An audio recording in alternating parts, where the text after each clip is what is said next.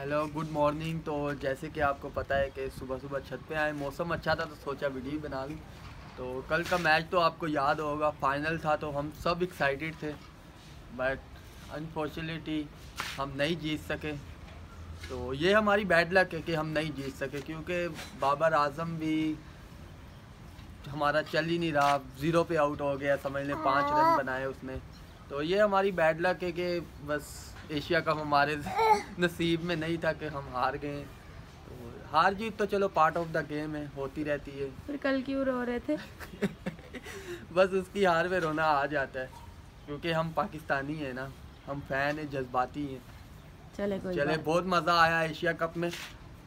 कोई बात नहीं हमने सबको मतलब कि सबसे हार जो बस इंडिया से जीतो। हम इंडिया से जीते हम खुश हैं इस बात पे। तो पाकिस्तान। जिंदाबाद।